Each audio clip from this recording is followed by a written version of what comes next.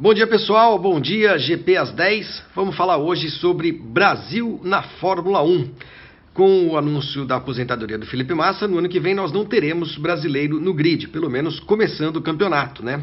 É claro que alguma coisa pode acontecer ao longo do ano, de repente, sei lá, alguém uh, se machuca, alguém fica doente, alguém pode ser substituído, de repente alguém chama o Felipe Massa de volta, ou chama o Felipe Nasser, uh, o, o Sérgio Sete Câmara, sei lá, qualquer coisa pode acontecer. Mas não vai, é o mais provável é que isso não aconteça, então é, nós teremos em 2018 pela primeira vez desde 1970, um campeonato mundial de Fórmula 1 sem pilotos brasileiros. É bom lembrar que em 70 o campeonato também começou sem piloto brasileiro, né? O Emerson Fittipaldi estreou naquela temporada, no Grande Prêmio da Inglaterra, que era a sétima etapa do campeonato. E de lá para cá, todo mundo sabe o que aconteceu. Depois do Emerson vieram o Wilsinho, Patti, Piquet, Senna, Barrichello, Massa uh, e tantos outros, né? Nelsinho, Felipe Nasser, uh, quem mais? Ricardo Rossetti, Pedro Paulo Diniz, Henrique Bernoldi, Antônio Pisonia, Cristiano da Mata. Claro que devo estar esquecendo alguém, né? Ricardo Zonta, mas devo estar esquecendo um outro. Roberto Pupo Moreno, opa, como esquecer do Moreno. Uh, Maurício Gugelmin. Foram muitos, foram 30 pilotos brasileiros, depois de Emerson, que disputaram o Campeonato Mundial mas no ano que vem não teremos, não teremos ninguém né, no, no, no campeonato. Uh, Para muita gente aqui no Brasil, eu escrevi sobre isso no blog, mas vou aproveitar o, o tema e também utilizá-lo aqui no, no, nosso vídeo diário. Uh, Para muita gente que acompanha a Fórmula 1 no Brasil, é uma desgraça, né? O fim do mundo, o mundo vai acabar. E para aqueles que têm uma noção da realidade, daquilo que está acontecendo no mundo, no automobilismo brasileiro e no automobilismo internacional, é apenas, como eu escrevi, a consequência de várias circunstâncias, de uma série de circunstâncias. Né? Eh, no caso do automobilismo brasileiro, ah, o fim das categorias de base, das categorias de fórmula, do investimento de montadoras eh, nas competições, isso ah, aliado ao fato de que ah, os resultados, os grandes resultados de pilotos brasileiros no exterior foram diminuindo nos últimos anos, na última década, a gente pode dizer. Isso, até mais um pouco talvez, isso também começou a gerar um certo desinteresse, os custos, enfim, diminuiu o número de pessoas, de garotos eh, eh, começando no automobilismo, no kart e depois tentando seguir carreira. Quando você tem uma diminuição do número de participantes, é natural que você tenha menos gente também, chegando ao topo, até que você chega num ponto em que não, ninguém vai chegar ao topo e é o ponto em que nós chegamos agora, nós atingimos agora. Vou lembrar que o Massa, por exemplo, é egresso da Fórmula Chevrolet, que já não existe no Brasil há muito tempo, né? Uh, o Barrichello saiu da Fórmula Ford, ambos passaram pelo kart também. O Cristiano da Mata, uh, que fez carreira na Indy, o Elinho, o Lucas de Grassi, que também chegou à Fórmula 1, uh, enfim, vários desses pilotos passaram pela Fórmula Renault, que também não existe mais. Então isso explica, de uma certa forma, o, o, que acontece no automobilismo brasileiro. Além, é claro, das circunstâncias econômicas do país, do interesse do, da molecada por outras coisas, tanta coisa que aconteceu no, no, no mundo nos últimos anos, tantas outras uh, maneiras de, sei lá, um garoto se divertir ou praticar esporte.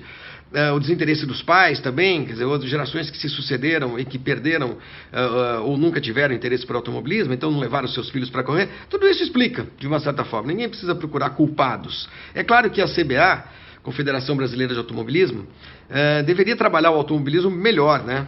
Uh, cuidar de autódromos, cuidar de categorias de base, cuidar de relacionamento com fábricas de automóveis, quase todas estão instaladas no Brasil e tudo mais. Mas a gente sabe que também as confederações esportivas no Brasil são absolutamente uh, ineficazes, cabides de emprego, uh, vivem de verbas, geralmente verbas públicas.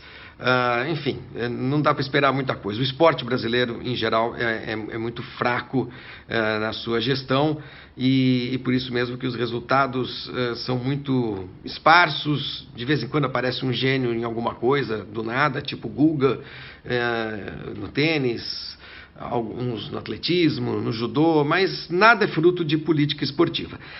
Só para fechar, ninguém precisa ficar desesperado porque não teremos mais brasileiros na Fórmula 1, né? Pode ser que isso aconteça no futuro, alguém surja e volte o Brasil a figurar entre os, uh, a ter um piloto entre os principais do mundo, e pode ser que não aconteça, né? A Alemanha ficou anos sem ter ninguém representativo, a França, a Itália, é, outros países, Estados Unidos, a própria Espanha antes do Alonso tinha quem?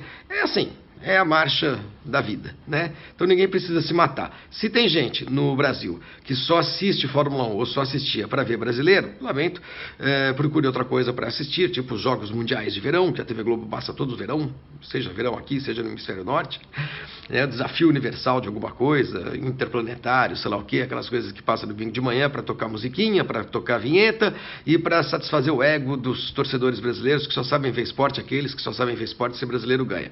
Aqueles que gostam do esporte vão continuar vendo, porque a Fórmula 1 continua tão boa ou tão ruim quanto sempre foi. Né? É, ela continua forte, tem seus melhores momentos, tem seus piores momentos, tem grandes corridas, tem corridas chatas e nunca foi muito diferente disso. Então, não é porque não teremos um brasileiro na Fórmula 1 que o mundo vai acabar. Ah, mas vai continuar tendo Grande Prêmio no Brasil? Vai. Até 2020, pelo menos, isso vai acontecer. Ah, mas o Grande Prêmio no Brasil depende de piloto brasileiro? Não sei. Como a gente nunca viveu essa realidade, né? desde que o Grande Prêmio do Brasil passou a ser disputado em 72, prova extra-campeonato, até agora, sempre houve um brasileiro no grid, é, não dá para dizer, não sei dizer se, se isso só acontece ou só aconteceu porque um brasileiro estava correndo, porque brasileiros estavam correndo. Eu diria que no começo, com o Emerson, com a ascensão do Emerson, é, o crescimento da indústria automobilística brasileira, a existência do Grande Prêmio na Argentina, é, tudo isso acabou trazendo a Fórmula 1 para o Brasil. É, e depois não saiu mais, porque as coisas foram evoluindo, os pilotos brasileiros foram se sucedendo, a Fórmula 1 ganhou importância e audiência aqui, e por isso o autódromo era bom e tudo mais, e por isso a Fórmula 1 ficou. Quando acabar o contrato em 2020, será que ele não vai ser renovado? Sinceramente, não sei dizer. Acho, eu acho que não deveria é, esporte algum depender da presença de um piloto de determinada nacionalidade para existir num certo país, né? Mas é, se isso vai acontecer a partir de 2021, né, depois que terminar o contrato do Brasil com a Fórmula 1, não sei.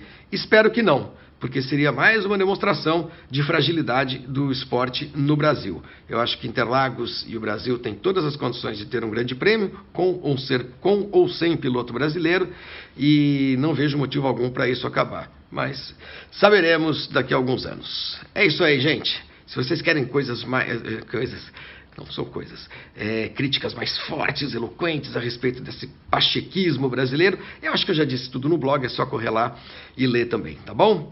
Amanhã estamos de volta. Valeu!